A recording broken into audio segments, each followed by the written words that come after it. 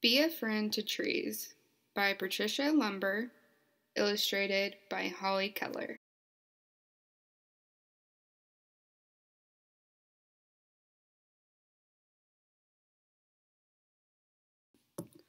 The book explains how trees are useful for us, even with objects like a chair and other ways we are able to use trees. Shows how animals around the world will use a tree to climb, or use for protection, or to eat.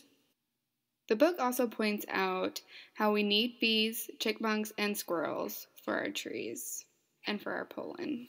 The author speaks a lot about how trees create oxygen for us to breathe. The author also explains how the trees breathe themselves and also the leaves.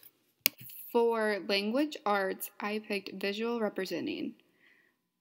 In this book, I love how it shows examples of what trees are used for. Examples are like the chair, blocks, homes, oatmeal, paper, and a wagon, and a hockey stick. I chose comprehension because I really want the students to understand where we get our materials from, where we get our food from, and um, just the basics about it.